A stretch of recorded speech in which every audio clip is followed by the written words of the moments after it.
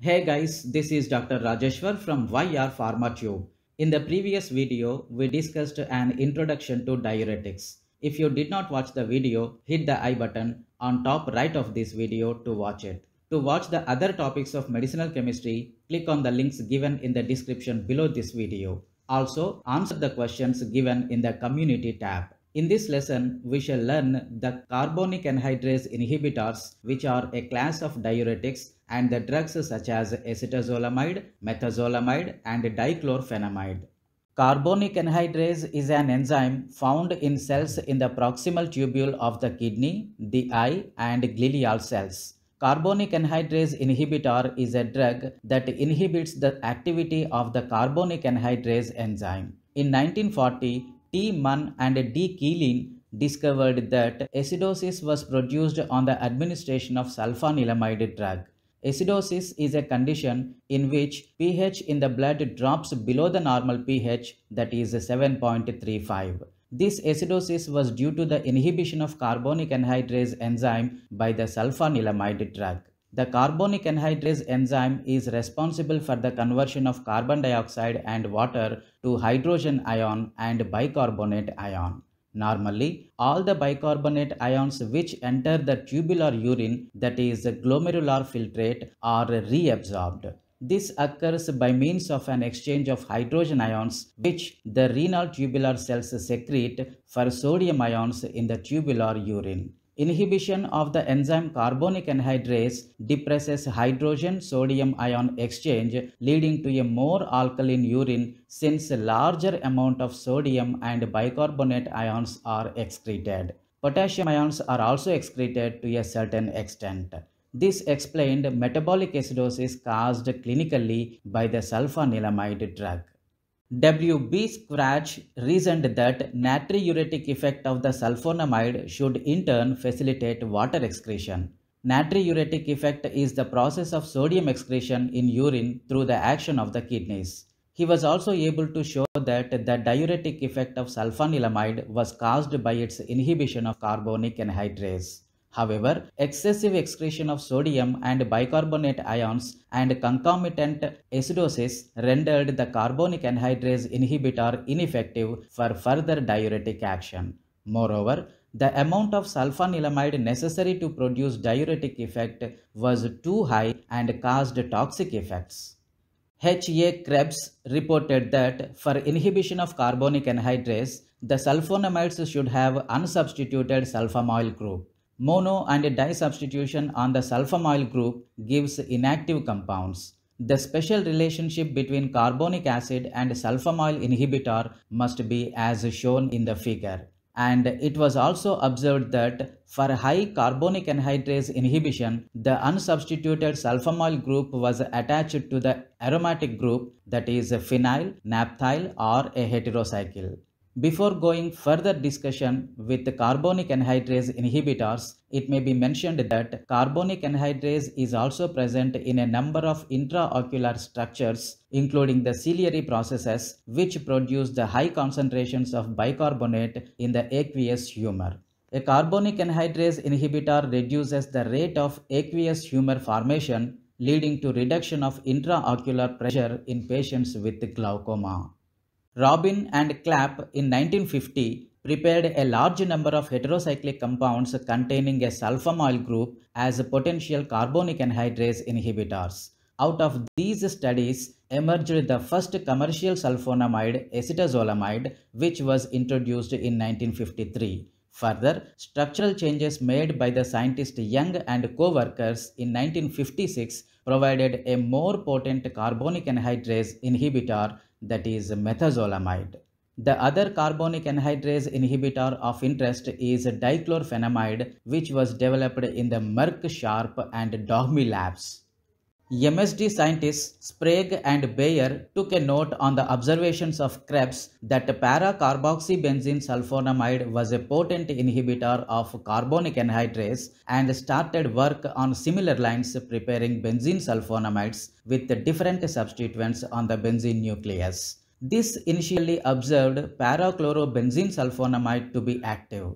Later, they turned to metabenzene disulfonamides and synthesized the disulfonamide as shown in the structure which was found to increase excretion of sodium chloride and bicarbonate ions in the experimental animals. Then dichlorphenamide was prepared which had mode of action similar to acetazolamide but caused excretion of less bicarbonate and more chloride ions along with sodium ions. Dichlorphenamide has become to be used clinically as a carbonic anhydrase inhibitor. It is the first discovery of significance among benzene disulfonamides, the class which was later to constitute cornerstone of modern diuretic therapy. Carbonic anhydrase inhibitors are divided into two major classes. Number 1, natural sources and number 2, carbonic anhydrase inhibitors are available in systemic and topical preparations. Ellagitannins extracted from the pericarps of Punica granatum, the pomegranate such as punicalin, punicalagin, granatin B, gallagyl dilactone, casuarinin, pedunculagin, and tellimagrandin 1 are carbonic anhydrase inhibitors. Topical carbonic anhydrase inhibitors include dorzolamide and brinzolamide. And systemic carbonic anhydrase inhibitors include acetazolamide, methazolamide, and dichlorphenamide. Three carbonic anhydrase of clinical interest today are acetazolamide, methazolamide, and dichlorphenamide.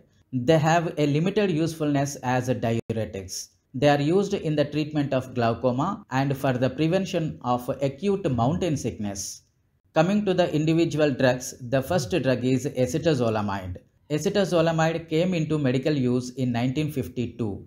Its IUPAC name is N5-sulfamoyl 1,3,4-thiadiazole 2-yl acetamide. It is both thiadiazole derivative and sulfonamide derivative with diuretic, anti-glaucoma and anti-convulsant properties. Having sulfonamide group in its structure, however, it does not have any clinically significant antimicrobial property. It is a non-competitive inhibitor of carbonic anhydrase enzyme. Acetazolamide is synthesized by the reaction of ammonium thiocyanide and hydrazine forming hydrazino N-N-bis thiourea, which cyclizes into thiazole upon reaction with phosgene.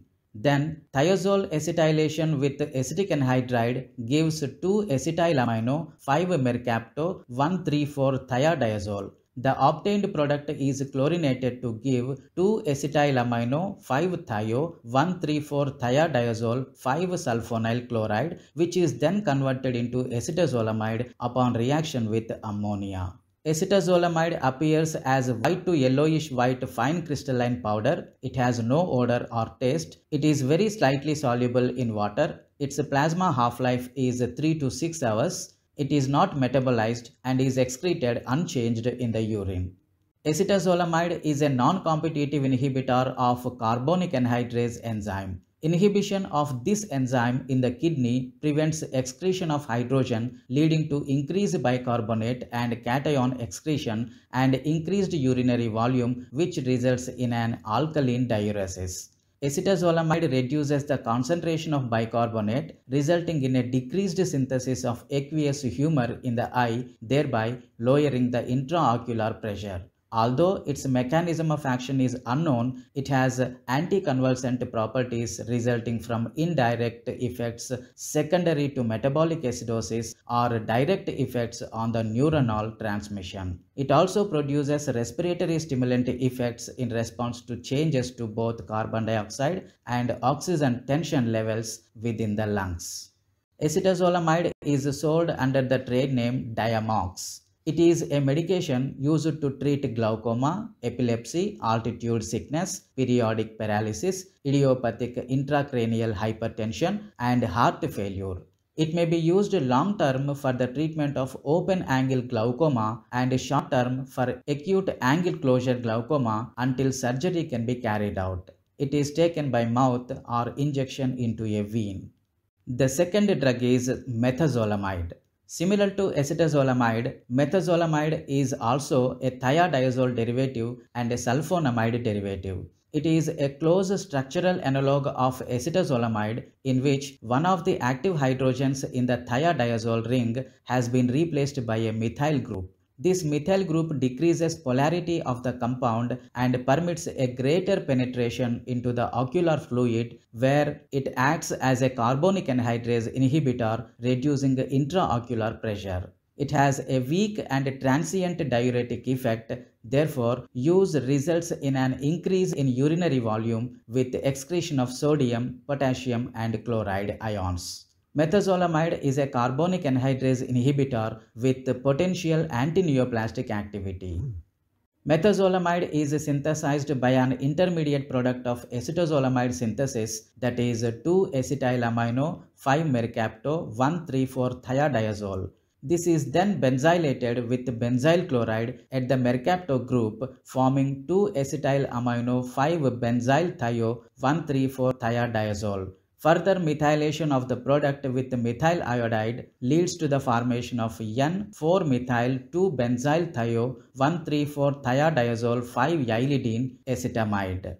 Oxidation and simultaneous chlorination of the resulting product with chlorine in an aqueous solution of acetic acid and reacting the resulting chlorosulfonic acid derivative with ammonia gives methazolamide. Methazolamide mechanism of action is quite similar to that of acetazolamide.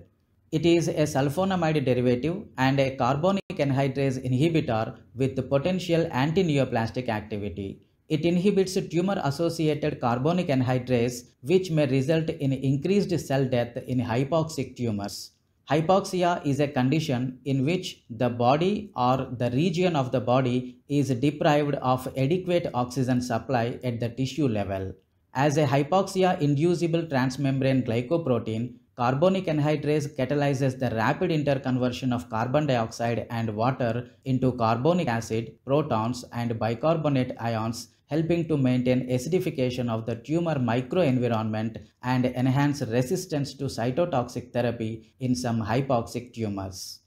Methazolamide is a potent topical carbonic anhydrase inhibitor and is sold under the trade name Neptazane. It is indicated in the treatment of increased intraocular pressure in chronic open angle glaucoma and secondary glaucoma. Also, it is used pre-operatively in acute angle closure that is a narrow angle glaucoma where lowering the intraocular pressure is desired before surgery. And the last drug of this lesson is dichlorphenamide. Dichlorphenamide was approved in the US in 1958. Its IUPAC name is 4,5-dichlorobenzene 1,3-disulfonamide. It is a benzene 1,3-disulfonamide in which the hydrogens at positions 4 and 5 are substituted by chlorine. Dichlorphenamide is chemically a sulfonamide and a dichlorobenzene. It has a role as a carbonic anhydrase inhibitor, an anti-glaucoma drug and an ophthalmology drug.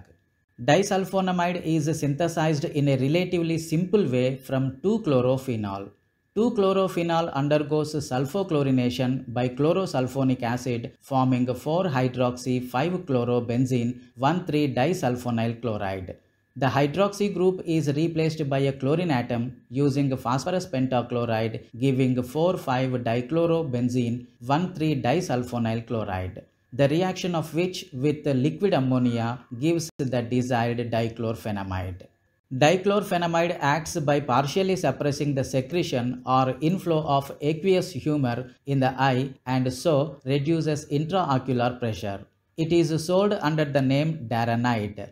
It is an oral carbonic anhydrase inhibitor used in the treatment of glaucoma.